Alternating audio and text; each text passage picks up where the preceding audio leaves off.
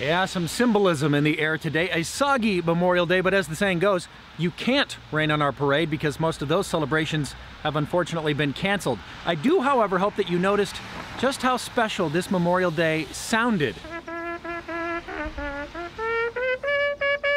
On purpose, too, an organization, Taps for Veterans, has organized Taps Across America, a national moment of remembrance. The idea is simple. If you have a trumpet, if you have a bugle, and you know that familiar and iconic 24-note melody, step outside and remember. I hope it's close to 3 o'clock. 59.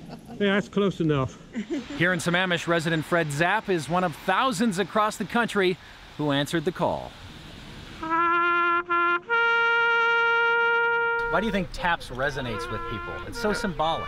Well, yes, it marks the end of the day for any military or anybody, and it is for the funerals. And this will be for the veterans, particularly those that have passed away. My uncle was a veteran in the South Pacific. And we were little kids, he always told us he's the most liked guy in the military. He was paymaster.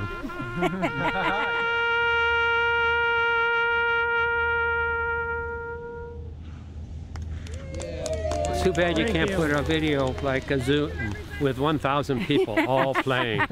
We Yes. will. 1,000 people will be able to see it on the TV tonight. You're gonna have to carry the load, Fred. No pressure. Okay. It's for the veterans. It's all the people that fighting the wars that make the freedom for we have today. So thousands of participants have already uploaded their performance of TAPS. The campaign was so successful, the TAPS for Veteran website crashed. The organizer says that it's the price of success, and they will all be posted to YouTube.